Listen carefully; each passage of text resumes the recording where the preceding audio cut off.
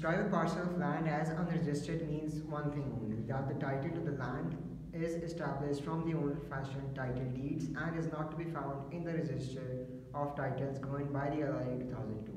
Unregistered land is land for which title must be proved from the conveyancing history of the land as is evidenced by the title documents and not by inspecting a register. It does not mean that there is no provision or opportunity for the registration of other rights and interests affecting the land for unregistered land has its own system of independent partial registration. It is important that it is appreciated fully.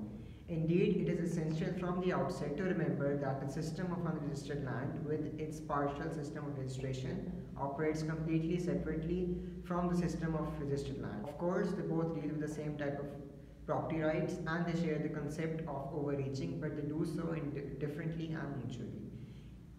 So if a title to land is registered under LRA 2002, it is unregistered land and it is to be dealt with according to the principle. Let's take a look at estates in unregistered land.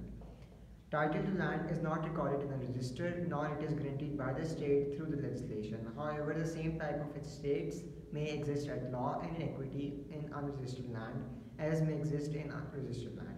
The substantive law of estates is governed by the LPA 1925 and the freehold and leasehold have the same essential character when found in either registered or unregistered land, albeit that they are approved and transferred in different ways. Thus, any purchaser of an unregistered estate in land must seek out the root of title in order to ensure that the seller has a good and safe title to pass on. Title is proven by an examination of title deeds and documents relating to the previous dealings within the land.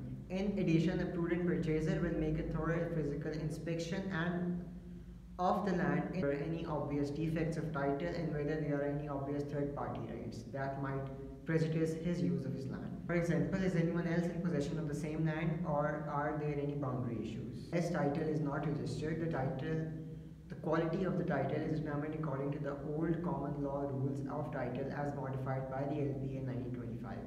Thus, a legal title, whether freehold or leasehold, encapsulates the essence of ownership for the duration of the estate granted, and the owner of a legal estate in unregistered land need not fear that the proper title will be compromised by any extraneous issues affecting the land other than those interests binding as proprietary rights according to the rules of unregistered. With an equitable estate, for example, an equitable lease, the estate owner also enjoys full rights over the land subject to the difficulties affecting all equitable interest in unregistered conveyancing.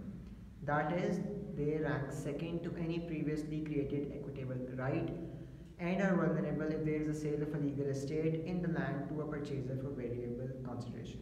Interest in unregistered land are of the same type as interest in registered land. There are easements, mortgages, covenants, profits, co-ownership rights, or options and estoppels, as these are creatures of the substantive law. They are examples of proprietary rights that may exist over someone else's land, more accurately over the estate in it.